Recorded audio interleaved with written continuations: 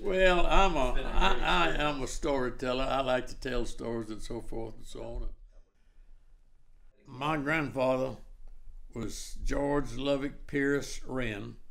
He was born in 1836, and his father moved here in 1845 and covered and about three covered wagons and a bunch of slaves. And about 1855, uh, he sent my grandfather and a brother back to Georgia to Emory University to get a college education. The Civil War came along, and he was living uh, down at Sibley so he joined the Civil War with the Minden Blues. And when he was fighting in the Civil War, well, he was captured twice and wounded twice. 19 battles in the Civil War, including uh, Battle of Bull Run, Manassas, Gettysburg, Sharpsburg. Sharpsburg was the most lives ever lost in a one day in the history of the United States. The Battle of Antietam, and he got wounded, and he got into prison, and he was in the prison when the war was over, and on Mosquito Island in state of Delaware. And when the war was over, they opened the gate and said, Y'all go home. And according to my grandmother, he walked home. I'm guessing he caught a ride somewhere on a boat on the Mississippi River. But anyway, he came home and then went to farming and and they hired him to teach school at this new school up here. And he taught for over 20 years in that school up there and made an outstanding name for himself. And they wanted him because they back then didn't too pe- too many people have a college education. And then after about 20 years, he ran for state representative in Louisiana. Eight years, and then after that, he ran for state senator. He didn't run anymore, and I checked on that and found out he didn't run because he got disgusted with politics. Built a house right here. At first, it had a log cabin right here, but he died in 1901 because that was way before I was born. I was born in in uh, 1924. I was born January of 24, which makes me 93 today. Parents were in the milk business, milking cows and bottling milk and delivering milk seven days a week, 365 days a year, twice a day. But that's why we did then because we didn't have electricity. We milked cows by hand. We got up in the morning a little after 4 o'clock, milk cows, bottled milk, and ran to town and delivered it morning and night. Seven days a week, 365 days a year. And then the war came along, they were doing that during the war. And it got, I got deferment because it was a vital industry. It was three, six months deferment, so I didn't go into World War II until kind of late after. But anyway, I went in it in 1944 and went to Camp Robinson up at Little Rock, Arkansas, and was trained up there in infantry. We loaded on the train in Shreveport and went to San Francisco and then stayed there for a little bit. And then they loaded us on a troop ship and put 5,000 GIs on that troop ship. And then we went to the Pacific and we were over 30 days on that boat and and they were just packed on like sardines on that boat. They had uh, bunks five five high, like five laying on it. And I started out on the bottom, and and the fellow swapped with me for the top bunk. I got the top bunk, which was a big, big help because we were falling equator, and all we had was fan on that ship was blowing, and but it was hot, hot, and you'd wake up in the morning, you'd be sweating so you'd, and your canvas on your cot would be just standing in water from sweat Elements of the 37th Division advancing along Highway 9 northwest of Baguio, former summer capital of the Philippines. Japs atop Mount Mirador hold up the advance from a monastery overlooking the city. And I remember the very first night we got Philippines and they they unloaded us on Lingayen Gulf and we slept out in the field out in there and they told us to be careful. The Japs, they'd push the Japs back out of that, back up in the mountains but anyway, that night we laid out there, and I know it was caribou, you know, big old cows out there, and a few of them roaming around there, and they got shot that night because everybody got pretty nervous about the Japanese coming getting us. But anyway, the next day, they loaded us up on trucks and carried us up into the mountains. The truck just couldn't get on the road up in those mountains there, and you'd look out the side way, way down there. But and I remember walking to the front lines, we came upon some dead Japanese, and they were just laying down on the ground, all swollen up and so forth. It was kind of an awful sight. And when we got up there, the all the trees were shot off, and we went that way, and we had a little shovel. Every one of us had a little shovel on his back to dig us a foxhole. And so at night, we would dig a foxhole about six feet long and about three feet wide and put three GIs in that foxhole. And we got a perimeter, and our, our company commanders and all, they, they were in the middle, and we were all the way around it, and we set guard at night. I can remember one night I was up there, and they had their battle cry was Banzai, Banzai, Banzai, and they'd yell, yell, yell, go down there, and we'd had a real uh, tight day that day, and I almost got killed that day.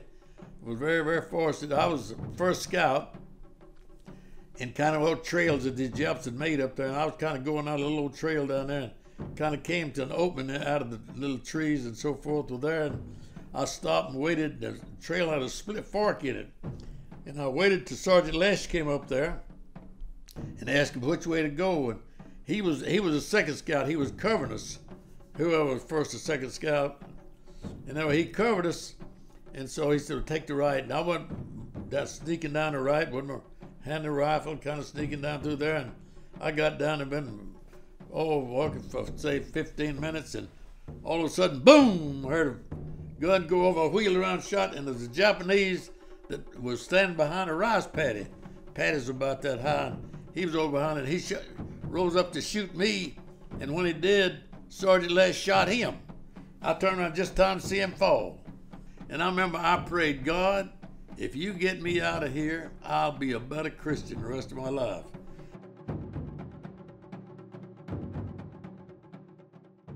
You know, that I remember one night those Japanese were yelling and hollering and going on, and I was nervous about my experience just getting close to getting shot. And uh, I was sitting there and wet, and it's kind of raining, and sitting on that poncho and sitting on my helmet, and sitting there and watching them. And those Japanese got to yelling and the hollering, and it sounded like they wasn't 30 yards from it. I got trembling so bad that I held my mouth open. I remember my, my teeth was just chattering. And uh, so to keep my Japanese from hearing me, I held my mouth open. And my mouth just going like like that, you know, flopping. For rest camp, we were uh, kind of guarding the artillery, and while they were shooting at them, they shoot these big old 105s and 155 cannons to a uh, valley out there in a mountain about two miles on the other side, and and they they had discovered with binoculars those Japanese on that mountain over there, and they got to shooting at them, and they got to hitting in that holes, and those Japs started running out, and boy, we were like a at a football game. We're yelling, "Shoot them! Shoot them! Shoot them!" And they were running and going on and coming out of those holes like ants coming out of an ant hill. Of course, while we were fighting them, they were the Japanese really would not surrender. They wouldn't surrender at all. They would do death. We had, uh, in my outfit, we had a little old fella in our outfit from up in northern Arkansas named Willie Brown, 32nd Division of the 8th Infantry, I believe it was. And while they were down there, they went to uh, Australia, and Willie Brown met a girl and married her while he was down there. And uh, if you would, anybody would capture and bring a Japanese in while we were fighting them before the war, when the war was going on, it bring and they would give them a a, a fur, pretty good furlough to Australia. And Willie Brown told us one morning, he came and said, "Men, y'all don't come after me, but I got to go see my wife. He'd married this girl in in Australia, and he wanted to go back. And he had hand grenades all in his belt around." And he had two pistols on him, and he had a little small a carbine, not a not a big rifle, but a carbine. And what he would do, he'd sneak around, he'd sneak up and get come to a hole. He knew Japs were in that, and he'd come up, put, take those hand grenades and pull the pin out, and throw them in, and pull the pin out, and throw it in, pull the pin out, and throw it in, throw it in, and then he'd wait a little bit after, and he'd count all of them, be sure they'd gone off. Then he'd jump in that hole with them, and he'd shoot any of them alive except one, and he'd get one and he'd pull him out and drag him. And he came down the mountain. He they were up the mountain from us, and he came down there, and he that Japanese was yelling and screaming and going on, and know, we couldn't tell what he was saying. We couldn't tell any Japanese, but he was coming down there, and he was one said, I'm, I'm going to see my wife. I'm going, y'all leave, don't bother my prison. came down there and big, a big old tree up there, and he got a chain in it, and they chained that prisoner to that thing so they got him and carried him out somewhere to interrogate him to find out what was information. But I remember that instance. That was quite an exciting time. Let us pray that peace be now restored to the world and that God will preserve it always. These proceedings are closed. Swarms of United States aircraft fly in formation overhead as the ceremony ends. But anyway, we did that. As I said, I was towards the, about the last six months of the war, which wasn't as intense as it was before. But but anyway, they came on a, a, with a loudspeaker and said the war Japanese have surrendered and and we can surrender and come in. And they said it in English one time, said it in Japanese, in, in English and in Japanese, in English and Japanese. We had found out, oh, maybe uh, two or three weeks before that we were fixed to be, invade Japan. Yeah. And uh, but we didn't know they were going to drop the atomic bomb. You know, nobody knew that. When Truman saved my life, I feel like he saved my life by dropping the atomic bomb because it would have been they said a million Americans have lost their lives, the Japanese probably two or three million, but anyway. But the very next day after MacArthur signed the peace treaty on the battleship Missouri, I was on Japan liberating prisoners, and we were getting those fellas out.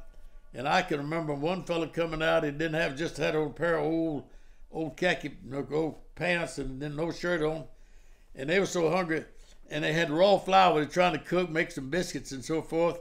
And they were just those GIs were just starved to death. They were gobbling that raw flour, just eating, and it fell down on them. And you could see every rib they had, just that flour would fall on the rib and fall down the rib. So anyway, we got there, and then I spent a year year on the occupation of Japan, and uh, but those Japanese did not give us a bit of trouble when the war was over and they surrendered they did not give us a bit of trouble whatsoever. But we'd meet Japanese that had surrendered and they came on, a bicycle riding to meet us. They'd get off the bicycle and bow down to the ground until we got by. And after we got by, they'd get up, on the bicycle and ride, keep riding and never look back at us, never looked at us. But I was there for about a year and they deactivated my outfit and made a military policeman out of it for the occupation of Japan. In fact, I might tell you something, but when I got home, That was going to be my next question. What was what was life like after you got back? well, after I got home, well, I came back and went to work with my parents helping them on in the dairy business. And in fact, I ended up taking over that and running it. And then I joined another company, took my business and joined them.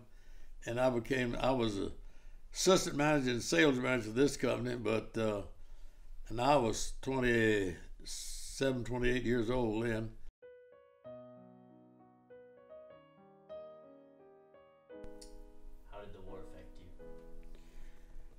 I can't say it affected me. It made me grow up, made me become a, a, a man. You know, I was uh, about 22, I think, 21 when I went in. But you know, that was what 70 years ago. So that's uh, 70 years ago, two years ago. So, but anyway, I, I do remember a lot about it. But I'm blessed that you know, at, at 93 years of age, I've I still got pretty good memory. So, so uh, a lot of stuff I do. Stuff happened yesterday. I can't remember that. but I've had a good life. You see, I, I've I came out okay. I've given y'all a pretty good lesson. Yeah, you've given us a lot of, Oh, yeah? a lot of, a lot of good stuff we can use. son, and that's his, his two sons, and that's a nephew that lives next door, and that's his son and his wife, and one, two, three, four kids, and her husband. I had my daughter; she lives in Los Angeles. That's my son. Oh, that's my son, right? Yeah, right there, and that's his wife and his one, two, three kids. Wow. Beautiful Got a family. pretty good family in it. really is. Yeah.